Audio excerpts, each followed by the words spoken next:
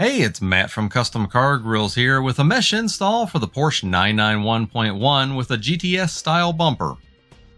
Let's take a quick look at the mesh pieces that we have available for sale on our website.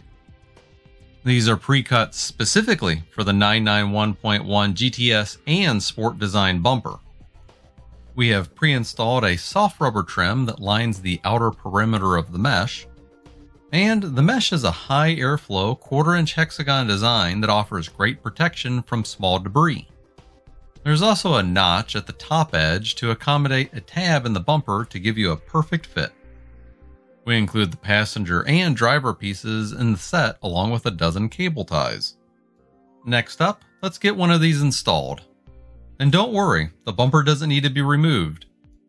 Make sure the mesh is oriented correctly, and then just slide the mesh in from the top opening like so.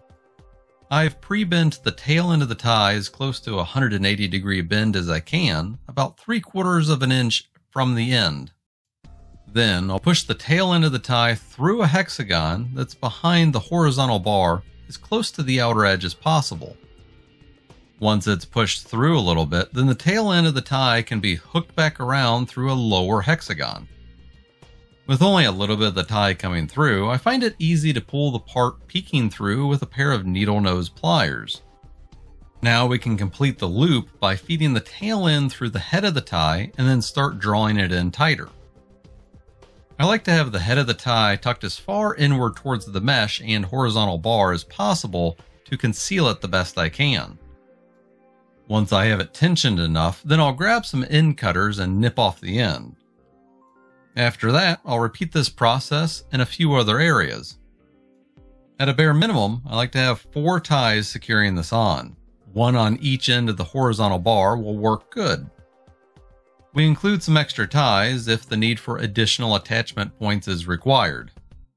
Also, in regard to the ties, I got a sharp bend on the tail ends by crimping them with some pliers. To get the ties to loop around an adjacent hexagon, the tail ends need to have that super sharp, hard crease in them. Otherwise, they'll probably loop around a couple hexagons. The install is super easy with just a couple simple tools. Once installed, these ties blend in really well. Take a look at how this one turned out here. The flat black finish on the mesh makes them look OEM, and the hexagon design is a perfect complement to the car. Here's a picture of the install from a distance. I'm really happy how these turned out.